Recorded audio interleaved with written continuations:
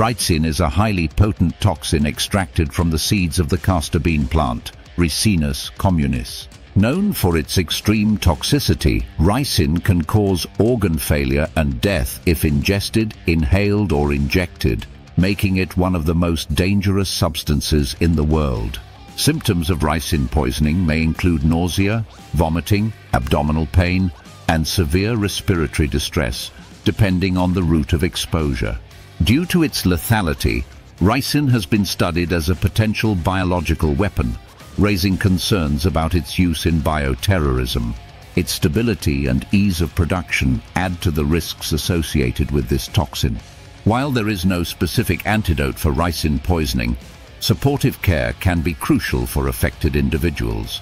Understanding the dangers and mechanisms of ricin is vital for public health and safety measures against biological threats.